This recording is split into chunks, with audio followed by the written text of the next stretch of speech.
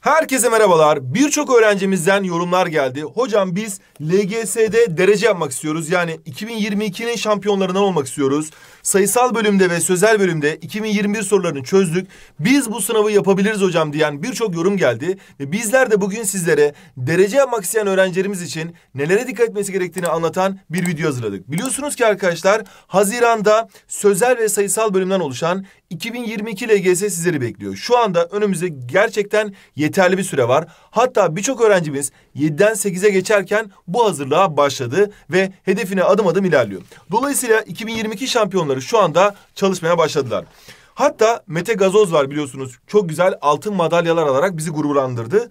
Daha çok çalışıp Tokyo'dan altın madalya ile döneceğim demişti. Yani kararını 2016'da vermişti ama 2021'de altın madalyalar ulaştı. Demek ki bizler de kararımızı şu andan itibaren verirsek ben çok ciddi bir şekilde çalışıp hayallerimdeki okula ulaşacağım dersek mükemmel başarılara ulaşabiliriz. Zaten bu esasında sözel ve sayısal bölümden oluşan, sözel bölümde 50 tane, sayısal bölümde 40 tane sorudan oluşan bir deneme sınavı. Ama bunun öncesinde çözeceğimiz birçok soru, birçok kaliteli soru, birçok zor soru, birçok sınava benzer soru bizim sınavda rahat etmemizi sağlayacak ve ben bu soruyu çözmüşüm diyerek inşallah LGS'de de en yüksek başarılara ulaşacağız. Şimdi okula başlamadan önce şu anda okullarımız açılıyor ama okula başlamadan önce mutlaka mutlaka bizim düzenli bir şekilde paragraf çözmemiz gerekiyor. Çünkü LGS'de arkadaşlar Milliyetin Bakanı'nın da söylediği, sınav komisyonlarının başkanlarının da söylediği şey şu.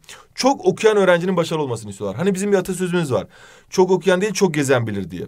Bu doğru olabilir ama sınav komisyonları diyor ki çok gezen değil çok okuyan başarılı olur diyorlar. Dolayısıyla bizler çok okumamız gerekiyor ve paragraf sorusu çözmemiz gerekiyor. Bakın Türkçe sorularına bakıyoruz. Türkçe sorularından sonra bakın buradaki uzun sorulardan sonra bu tarz e, grafik gerektiren sorulardan sonra diğer branşlarda da yani inkılap tarihinde de bakın soruyu görüyorsunuz değil mi?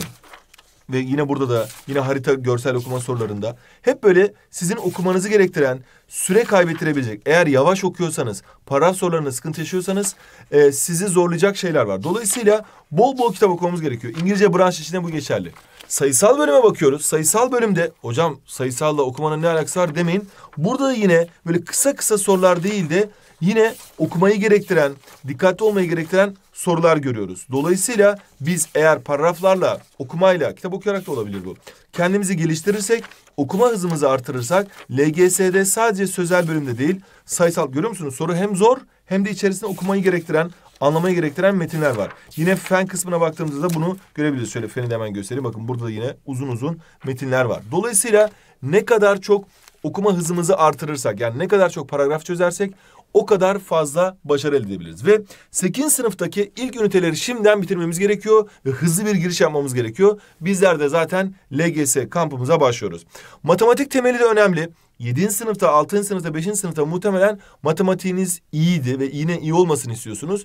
Dolayısıyla 8. sınıfta da bazı zorlayıcı sorular gelecek karşınıza. Gerçekten bilhassa 2021 LGS son derece zordu. Ama bu zor sizin için daha iyi. Neden? Çünkü gayret gösterdiğinizde, iyi bir çalışma yaptığınızda emeğinizin karşılığını alabileceğiniz sorular da var.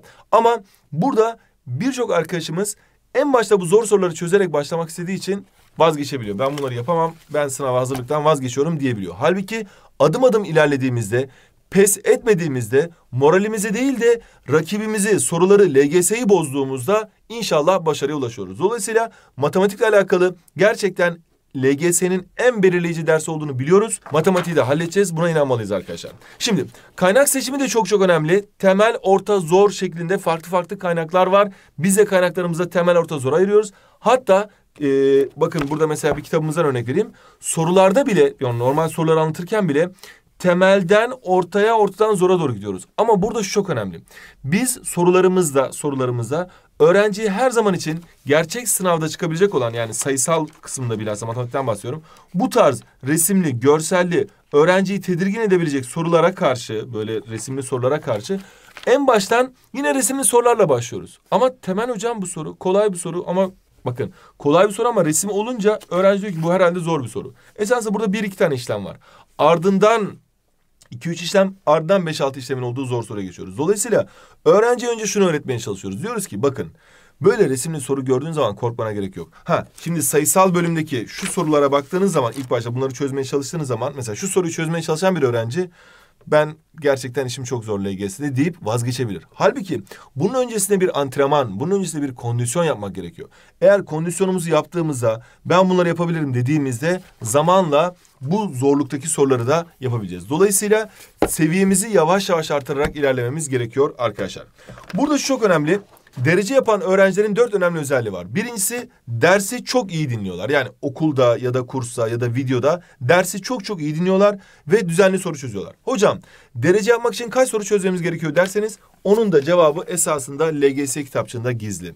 Sözelde 50 soru, sayısalda 40 soru var. Sınavda bize 90 soru sorulacak. Dolayısıyla biz sınav günü, sınav sabahı 90 soru çözeceğimize göre kondisyonumuzu bunun en az 3 katı soruya yani 90 çarpı 3 270 soruyu hazırlamamız lazım. Yani siz günde 270 soruya benzer bir soru çözerseniz derece yapmak isteyen öğrenciler için söylüyorum. Sınava girdiğiniz gün 90 soru size leblebi gelir. Çerez gelir, rahat rahat fıstık gibi gelir. Onları yer bitirirsiniz. Ama her gün siz 90 soru çözerseniz e, sınav günde 90 soru çözdüğünüzde sıkıntı yaşarsınız. Dolayısıyla tabii ki bazı günler 270 çözemeyebilirsiniz. Bunların hepsi matematik olmak zorunda değil. Sözel soruları daha hızlı ve daha kolay çözülebiliyor. Yani siz sınav provanızı gün içerisinde defalarca yaparsanız ve sene sonuna doğru da bol bol sorular çözerseniz, denemeler çözerseniz sizi çok büyük başarılar bekliyor. Devam ediyorum. Yanlış ve boşlarla mücadele etmek. Bu da çok çok önemli bir durum. Şimdi siz aldığınız soruyu çözüyorsunuz. Burada hata yaptınız mesela diyelim ki şurada. Temel soruları rahatlıkla yapabildiniz. Orta soruda biraz zorlandınız. Ortadan zora geçtiniz. Burada hata yaptınız. Cevabına baktın C'ymiş. Ya yapamadım neyse deyip.